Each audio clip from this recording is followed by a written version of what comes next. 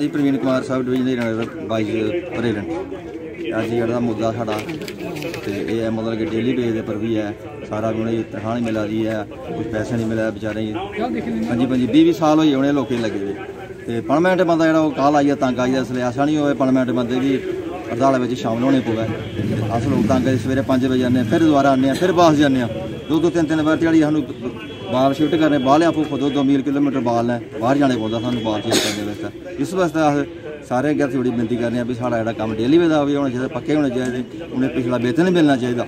ਬਾਕੀ ਪਰਮਨੈਂਟ ਦੇ ਬਾਅਦ ਸੋਚਣ ਅਫਸਰ ਸਾਹਿਬ ਜਿਹੜੀ ਆ, ਉਹ ਆਪਣੇ ਗੁਣ ਗਾਉਂਦੀ ਆ, ਉਹਦੇ ਬਾੜੇ ਮਾਰਦੇ ਮੁੰਡੇ ਨੇ ਤੁਸੀਂ ਨੌਕਰੀ ਨਹੀਂ ਕਰਗੇ ਪਰਮਨੈਂਟ ਬੰਦੇ ਉਹਦੇ ਸਾਰੇ ਦੀ ਤਨਖਾਹ ਬੰਦ ਕੀਤੀ ਜਾ।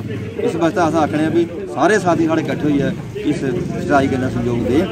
ਤੇ ਬਾਕੀ ਮਸਲਾ ਤਾਂ ਹੱਲ ਹੋ ਸਕਦਾ। ਜੇ ਰਹੀਆ ਕੰਮ, ਤਾਂ ਨਹੀਂ ਹੋ ਸਕਦਾ। ਜੈ ਹਿੰਦ, ਜੈ ਮੈਂ president PHE EMPLOYE association district Kathua ਅੱਜ ਦਾ ਜਿਹੜਾ ਪ੍ਰੋਟੈਸਟ ਹੈ ਇਹ ਯੂਨਾਈਟਿਡ ਫਰੰਟ ਦਾ ਪ੍ਰੋਟੈਸਟ ਹੈ ਪੂਰੇ ਜੰਮੂ ਪ੍ਰੋਵਿੰਸ ਦੇ ਵਿੱਚ।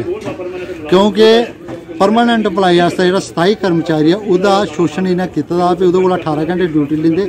ਔਰ ਇੱਕ ਬੰਦੇ ਹੀ ਕੋਈ 8 8 4 4 ਸਟੇਸ਼ਨ ਦਿੱਤੇ ਦੇ ਵੀ ਜਾ ਚਾਰ ਸਟੇਸ਼ਨ ਚਲਾਈ ਆ 32 32 ਉਹਨੇ ਬਾਲ ਦਿੱਤੇ ਵੀ, ਜਾ ਬਾਲ ਵੀ ਪਰੇਡ ਕਰਨੇ, ਅਗਰ ਉਹਦੇ ਜੋੜ ਨਿਕਲਿੰਦਾ ਉਹ ਵੀ ਉਹਨਾਂ ਲਾਣੇ। ਇਹ ਇੱਕ ਜਿਹੜਾ ਤਾਨਾਸ਼ਾਹੀ ਸਿਸਟਮ ਜਿਹੜਾ ਅਫਸਰਸ਼ਾਹੀ ਨੇ ਅਪਣਾਦਾ ਆ, ਕਿਉਂਕਿ 1000 ਬੰਦਾ ਇਸ ਡਿਵੀਜ਼ਨ ਦੇ ਵਿੱਚ ਹੋਣਾ ਹੈ, ਜਿਹੜਾ ਕਿ ਸਟ੍ਰਾਈਕ ਉੱਪਰ ਹੈ।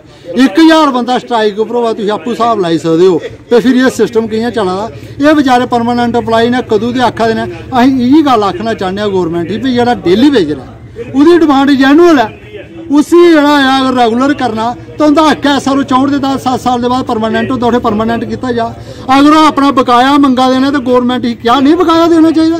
ਕਿਉਂਕਿ ਪਿਛਲੇ 52 ਮਹੀਨੇ ਦਾ ਉਹਨੇ ਤਨਖਾਹ ਨਹੀਂ ਹੋਈ। ਸਾਲ 'ਚ ਪੰਜ ਵਾਰੀ ਉਹਨੇ ਤਨਖਾਹ ਹੁੰਦੀ। ਹੁਣ ਉਹਨੇ ਦੋ ਵਾਰੀ ਤਨਖਾਹ ਦੇ ਜਿਹੜੀ ਇਹ ਸਿਸਟਮ ਕਿਵੇਂ ਚੱਲੇਗਾ?